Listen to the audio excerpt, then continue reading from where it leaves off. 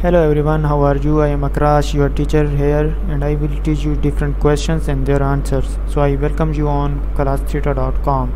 So our today's question is Vail company recorded the following transaction during November.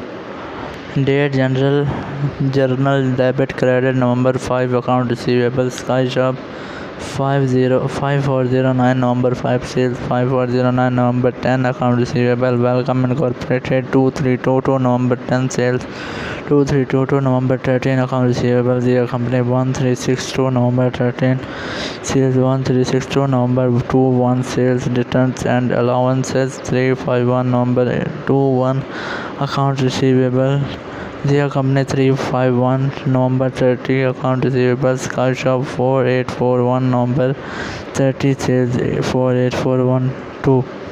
Prepare schedule for account receivable.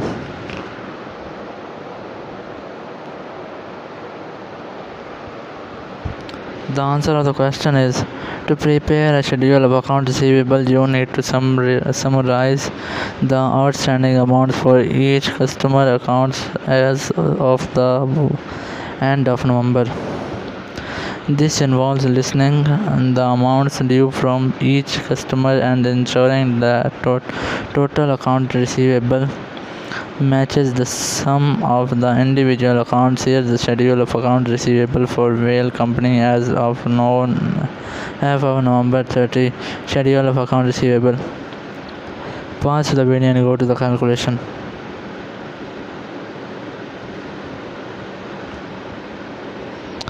The schedule of account receivable shows that the total outstanding balance for all customers at the end of November is $3,901. So that's the correct answer of the question. If you have any question, just leave a comment. I'll be answering you as soon as I can. Thank you very much for watching the video.